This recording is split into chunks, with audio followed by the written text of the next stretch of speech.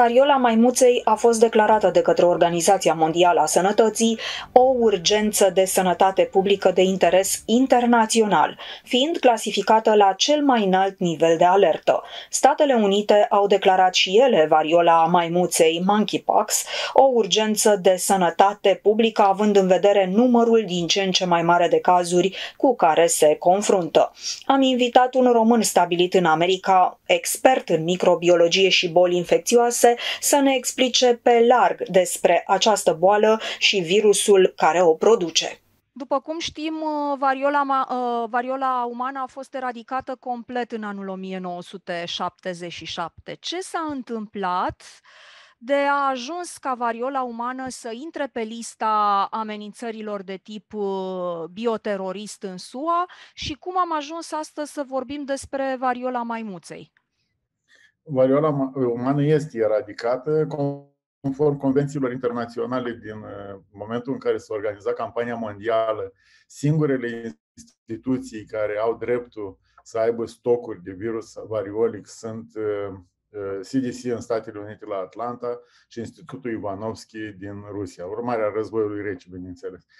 În, în rest, nu există. În, în, în teorie, nu mai există nicăieri stocuri. Bine, în urmă cu câțiva ani, întâmplător, într-unul din congelatoare, a fost găsit un, un stoc, dar a fost distrus imediat, deci nu există.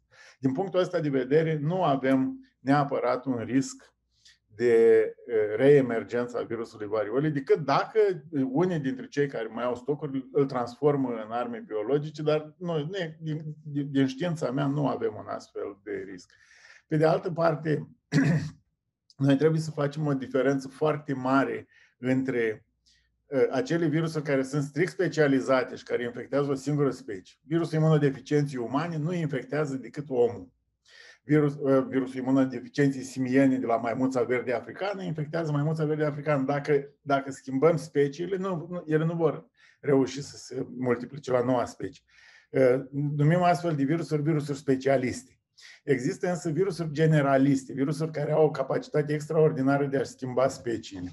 Uh, exemplul cel mai recent pe care l-am, cu care ne-am confruntat a fost SARS-CoV-2. Da? Este un virus care infectează liliacul, dar infectează și pangolinul și nutriile, și căprioarele, și omul, și maimuțele, și în felul ăsta, schimbând tot timpul gazdele, există un risc de transmitere de la, de la animal la om foarte mare. În această categorie intră și virusul variolei. Da? Virusul variolei era strict uman, dar alte virusuri puteau fi transmise cu relativ ușurință între diferite specii și asta a stat la baza vaccinării. Da? Virusul de la vacă a fost ce am folosit noi ca să facem vaccinul anti Uh, varioa. Acum, în anii 50 ceva, 60, uh, la maimuții a fost găsit un virus echivalent virusului variolei, care a fost numit monkeypox, dar care de fapt este un virus de șobolan. Da? Deci maimuțele l-au dobândit de la șobolanii din centrele de primate unde erau maimuțele uh, uh, uh, cazate a rămas cu denumirea de monkeypox și se poate transmite de la gazda naturală, care este șobolană sau eventual maimuță în, în condiții de laborator, la om. Transmisibilitatea monkeypox în principiu este foarte redusă. Spre deosebire de variolă, care avea o rată de transmitere similară cu a variantei englezești a COVID, Uh, virusul uh, care dă variola sau monkeypox are o transmisibilitate, un individ infectează, sau trei indivizi sunt necesari ca să infecteze un individ. Deci 0,3 rata de transmitere, ceea ce ne face să stăm destul de liniștiți. Uh, pe de altă parte, știți cum e, în general e bine să previi problemele decât să le rezolvi, dar unii caută probleme. Da? Și atunci, dacă Uh, urmare a pandemiei de COVID, ne-am hotărât că o să facem mari petreceri de sute de oameni aglomerați într-un spațiu foarte închis în care o să stăm câteva zile să facem cine trăznește nou prin cap, atunci putem să ne așteptăm că o să avem nu numai variola mai mulți, ci și altele. Data viitoare s-ar putea să avem ciumă sau cine știe. Dar în orice caz, deci, uh, uh, toată această epidemie are două surse. Deci, sursa este Nigeria, un, un cetățean care a, a călătorit în Nigeria, unde virusul este endemic, care după aceea s-a dus la petreceri.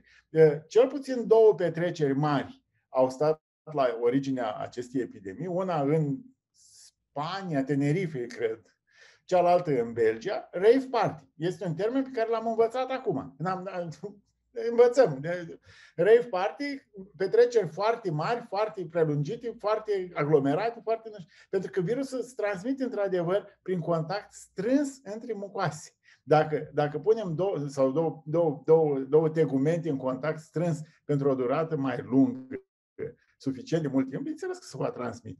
Um, Asta știm. Mai departe, faptul că s-a răspândit așa de, de mult este faptul că este datorat uh, uh, faptului că și-a găsit o nișă. Și-a găsit o nișă. În momentul de față, nișa este uh, populațiile de uh, homosexual, transexual și așa mai departe, dar uh, trecerea la, la sau heterosexualizarea lui este o chestiune de timp pentru că da, dacă, depinde de obiceiurile pe care le avem în, în felul în care interacționăm cu oamenii. Dar probabil că există un risc să se transmită la fel de ușor, pentru că transmiterea nu e sexuală, transmiterea e contact între piele. Ce mai știm? Mai știm următorul lucru foarte interesant. Recent a fost publicat primul genom. Da? Deci în Portugalia au secvențializat genomul, nu e ușor. Deci nu e ca la SARS. Astea sunt virusuri foarte mari și foarte, foarte complexe.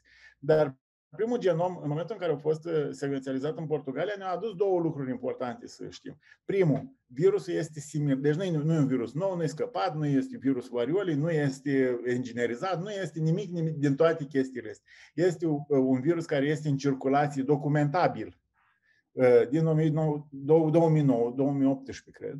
Deci, frații lui apropiați sunt identificați și secvențializați începând din 2018 încoace.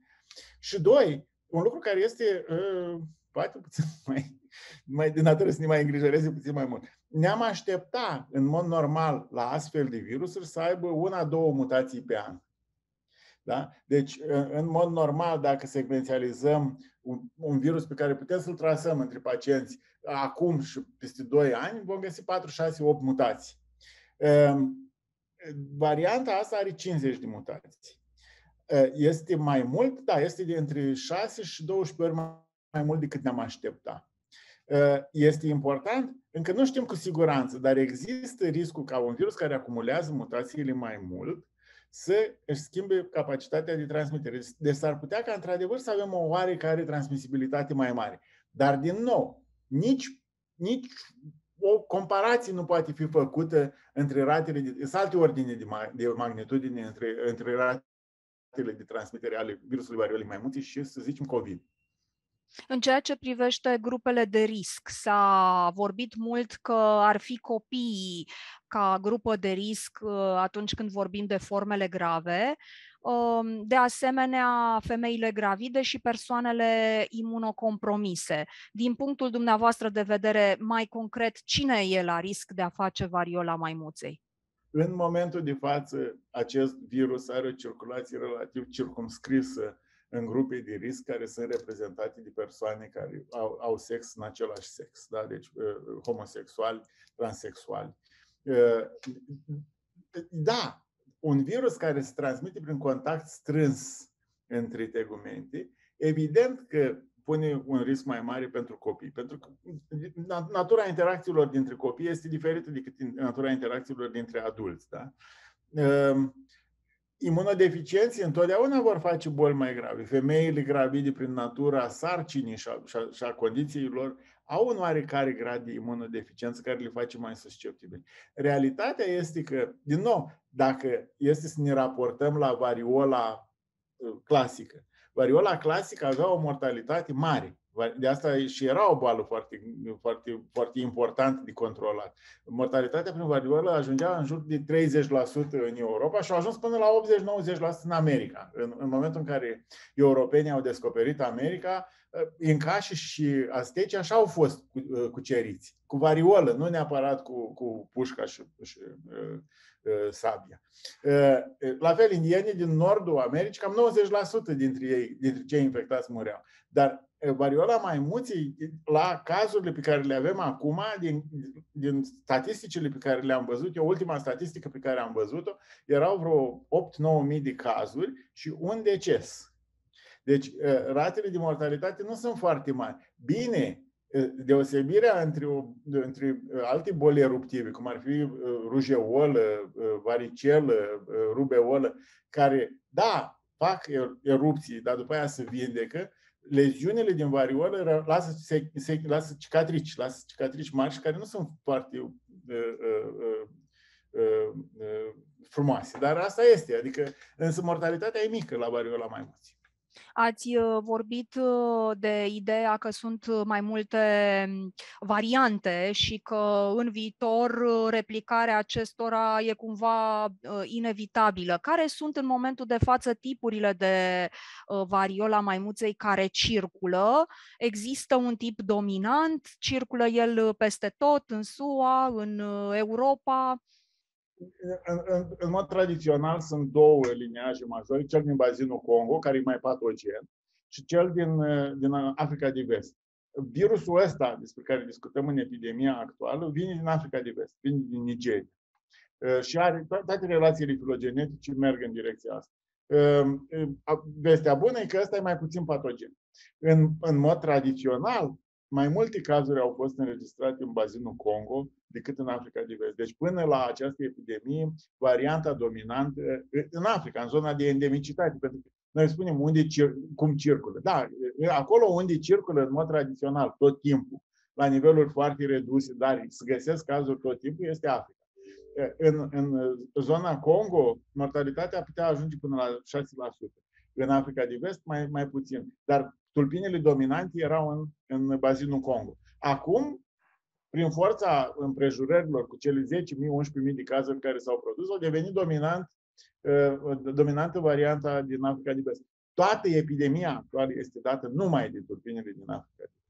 Am uh, văzut și o estimare făcută de un uh, doctor GP Wayland, care spune că undeva în luna septembrie, la nivel mondial, s-ar putea ajunge la peste un milion de cazuri de infectare cu.